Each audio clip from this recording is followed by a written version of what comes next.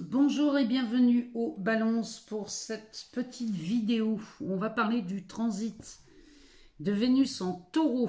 Alors, qui a lieu du 16 mars au 11 avril. Donc, on va aller voir ce que les cartes ont à nous dire pour ce fameux transit de Vénus. Et on va aller voir, donc pour vous, amis balance, ascendant balance, ou encore le signe lunaire, ou Vénus en balance, on va aller voir ce que ça nous dit pour vous, puisque cette euh, Vénus en taureau va avoir un impact sur votre maison 8. Alors, la maison 8, ici, avec Vénus, on va surtout parler des finances. Euh, on va parler aussi de vos biens matériels. On va parler, la maison 8, c'est la maison euh, souvent des héritages, de la mort, de la renaissance. on parle des transformations dans cette maison 8.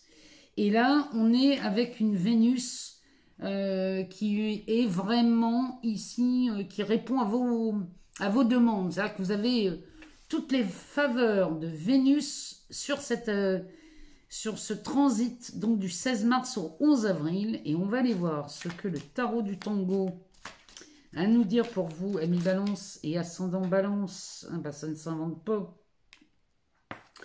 Ici, on a cette carte. Alors, cette carte qui va nous parler de la justice. Euh, n'importe quoi, de la mort. Oh là là, décidément. Je ne sais pas pourquoi je vois la justice. Euh, à mon avis, vous le savez, vous, amis balance. Donc là, ici, on nous parle de la mort. On est bien dans la maison 8. Donc cette Vénus vient, elle est, transformatrice hein, pour vous. Mais elle peut nous parler aussi beaucoup des finances. Alors, on y va. Vénus qui quand même va vous amener... Euh, toute sa lumière et tout son charme, tout son pouvoir de séduction. Donc, va falloir en, profiter, hein, là, les balances. Derrière, on nous parle du jugement. Il y a une renaissance hein, qui s'attend chez vous, parce que le jugement nous parle, c'est une renaissance, c'est le, phénix qui renaît de ses cendres euh, après la mort. C'est quand même de belles choses, hein, ça s'annonce bien ce transit de Vénus. Parce qu'en plus, il y a une partie chance.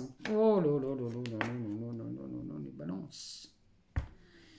Vous avez une chance phénoménale, parce qu'ici, on a un as de pentacle. Donc, on est bien dans les finances. Hein. Chez vous, cette Vénus vient vous donner un sacré coup de main sur, dans ce secteur-là. Le dos de deck, ah bah ça continue.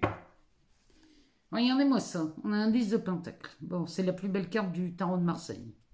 Donc là, on est, euh, on est bien, on est tranquille chez les balances là, pendant ce transit. Derrière, on a un 7 de bâton. L'étoile. Ah bah, ça, c'est une maison mieux avec un 6 de bâton derrière. Euh, ça, c'est de la reconnaissance. C'est de la récompense ici, euh, après une bataille rondement menée. Donc ici, ben, c'est de la réussite financière et matérielle pour vous, les balances, pendant ce transit. Derrière, ici, on, a, on est en position de force avec ce set de bâtons. On est vraiment... Euh, là, on a vraiment fait euh, ce qu'il fallait faire pour euh, en arriver à ce 10 de pentacle. Alors, le pompon sur la Garonne, c'est l'étoile. L'étoile, elle, elle répond à vos rêves. Elle est en train de vous suggérer de rêver un peu plus grand, les balances parce qu'elle nous dit toujours que si vous ne tremblez, si vos rêves ne vous font pas trembler, ami balance, c'est que vous ne rêvez pas assez grand. Donc, profitez de ce transit de Vénus pour rêver grand. Avec un 10 de pentacle, on a les moyens. Hein. Alors, on est bien sur la fin de quelque chose chez vous les balances. Ici, on nous parle de la mort, de la transformation, de la métamorphose. Maison 8, ici, ça se confirme. Bon. La mort ici que nous voyons, la transformation que nous voyons dans cette carte, nous annonce la carte du jugement, donc la renaissance, la guérison. Euh, ça, peut être, euh, ça peut être sur bien des domaines. Ici, on parle beaucoup de l'aspect financier, puisque derrière, on a cet as de pentacle. Autant vous dire qu'ici, il y a une sacrée belle transformation financière chez vous pendant ce transit. Il y a beaucoup de chance ici. Vénus vous domine aussi, puisqu'elle est maître chez vous, ami balance. Et là, en taureau, c'est votre copine. Donc, Profitez de ces faveurs, hein, parce que là, euh, on ne la reverra plus en taureau cette année. Hein. C'est la seule fois où on a Vénus en taureau. C'est entre le 16 mars et le 11 avril. C'est pour ça que je tenais à faire ces vidéos, parce que ce serait dommage de rater une telle chance. Donc euh, là, moi, j'ai pas grand-chose d'autre à vous dire que ici, vous pouvez oser, vous pouvez, si vous aviez peur de demander quelque chose, si vous aviez peur d'aller de, euh, peut-être trop fort dans une démarche, les cartes vous disent que c'est justement dans la transformation que vous allez réussir à obtenir ce que vous voulez, ami balance. On peut pas dire mieux. Hein. Allez, on va aller voir dans l'améthyste. Qu'est-ce que l'améthyste love a à nous dire? Parce que sur l'aspect financier ici, bon, là on est, on est royal. Si on est sur un aspect professionnel, par exemple, ici c'est la fin de quelque chose, ou la transformation d'un travail. Peut-être qu'ici, la transformation serait que vous passiez un nouvel échelon. Ou alors, on démissionne, vous avez euh, démissionné et euh, pour repartir dans une autre usine ou une autre entreprise.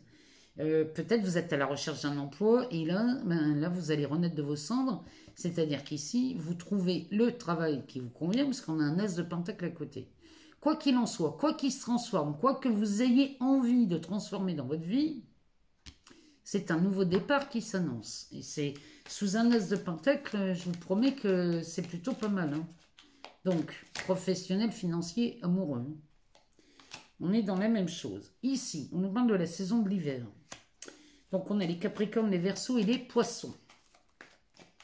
Donc ici, on a une fin de cycle qui s'annonce, la fin de cycle sur la mort. Bon, ça se confirme hein, pour les balances qui seraient en couple ou les ascendants balance. Si vous êtes en couple ou en triangulaire, ici, il y a quelque chose qui, qui prend fin. Derrière, on a cette carte de l'attirance. Donc, on a une attraction sur quelqu'un, sur une personne. Euh, elle est peut-être la triangulaire.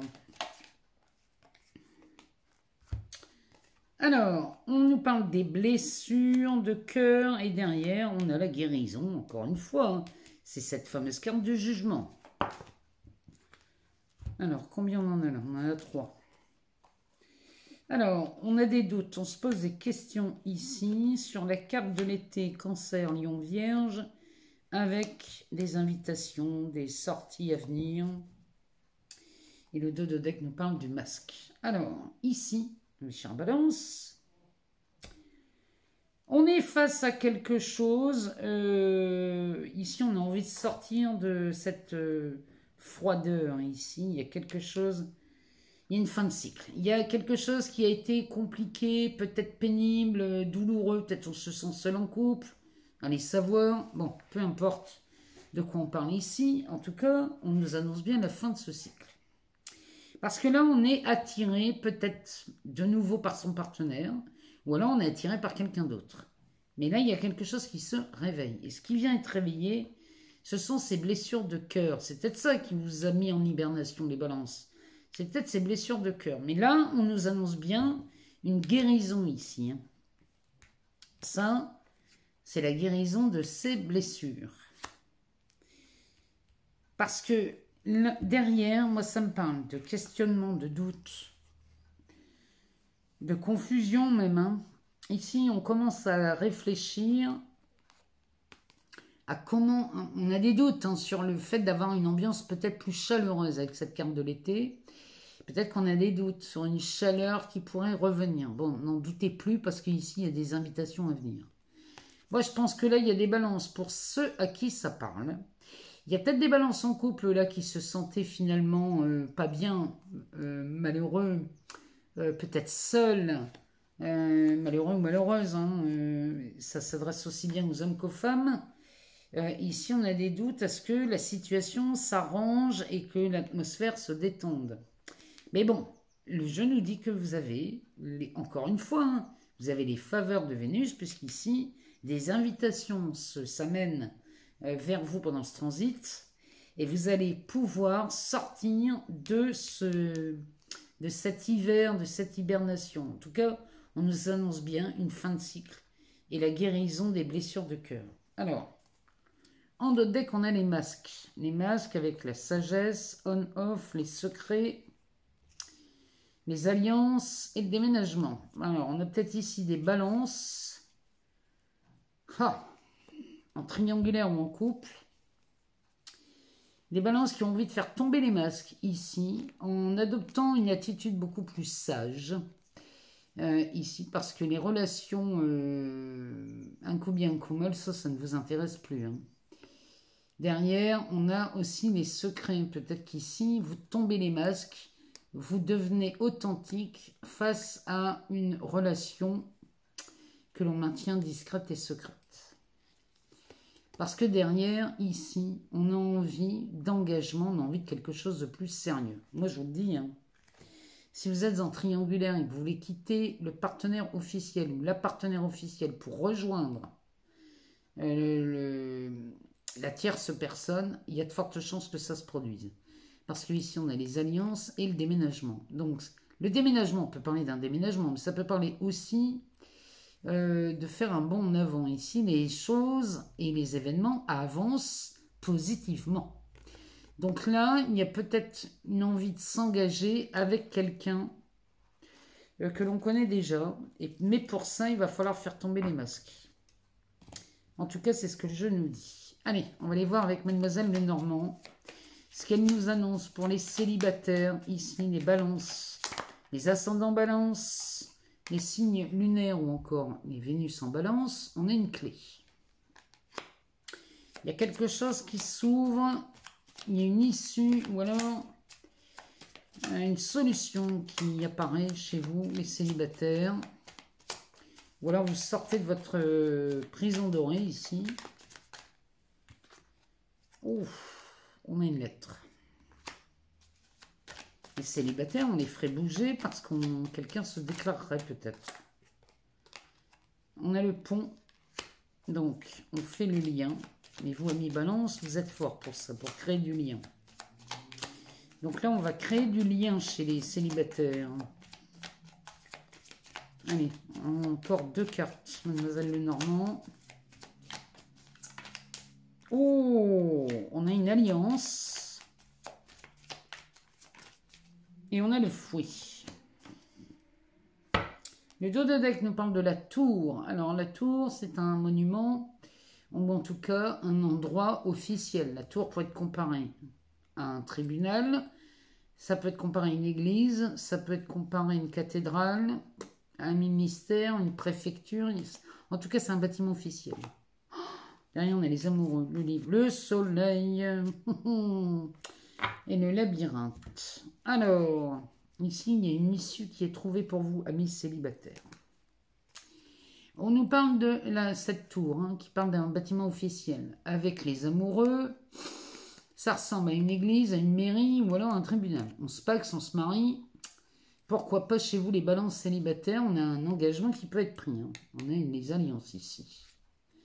Derrière, il y a une nouvelle histoire qui commence. Cette nouvelle histoire qui commence est elle est vue sous le soleil, donc c'est de la bénédiction de la réussite. Euh, c'est quelque chose de formidable. En tout cas, sous le soleil, c'est vraiment les meilleurs aspects de Vénus. Et on sort de ce labyrinthe. Nous, là, on s'adresse à des célibataires balance, ça fait un moment que ça dure. Hein. Et là, euh, on n'a pas trop envie de laisser durer encore une fois ce célibat. Et pour ce faire, ici, vous sortez, vous prenez la clé, vous sortez de votre enfermement, de votre solitude. Euh, vous sortez de cette prison dorée. Avec cette lettre, ce courrier, cette information, ça peut être des échanges par euh, message ou par mail aussi. Hein. Ici, dans le seul but de faire du lien ou de rentrer en communication avec quelqu'un avec ce pont, c'est quelqu'un avec qui on a une alliance. Alors, ça peut être une alliance à venir, ou alors, c'est peut-être un ex, parce que, ou une ex, parce que regardez derrière, on a ce fouet. Cette alliance avec le fouet pourrait nous parler d'un ex ou d'une ex. Il tombe. Donc là, peut-être qu'on fait le lien, on retrouve euh, une communication avec un ex ou une ex-partenaire chez les célibataires, ou alors ou alors on y va et on, prend, euh, on prend la poudre d'escampette et ça y est, on sort, euh, on y va, on se fait du bien, on se fait plaisir. Enfin, avec Vénus en taureau, qui vient chez vous dans la maison 8, qui parle des finances, qui parle des transformations, des héritages, etc. On pourrait s'engager à deux puisqu'on pourrait parler des finances communes, des gains et des comptes en banque communs. Bah alors, donc, ici, tout porte à croire qu'on pourrait accélérer la procédure, accélérer une rencontre et euh, de se mettre ensemble très rapidement. Pourquoi pas? En tout cas, je vous le souhaite, hein, ami Balance. Je vous le souhaite de tout mon cœur, mais profitez de Vénus en taureau qui va apporter chance, amour, expansion, aisance, faveur, enfin bref, elle vous apporte tout le côté positif, celle-ci. Je vous remercie infiniment encore pour vos partages, vos abonnements, vos likes. Euh, tout ça, ça fait grandir cette chaîne et ça me permet de continuer à partager du contenu et je vous en remercie infiniment. Je vous laisse aller voir votre ascendant, votre signe lunaire ou encore votre Vénus pour avoir peut-être un peu plus d'informations. Et moi, je vous dis à très bientôt, Ami Balance, pour de nouvelles vidéos. Je vous embrasse très fort, je vous aime beaucoup et je vous dis à tout bientôt.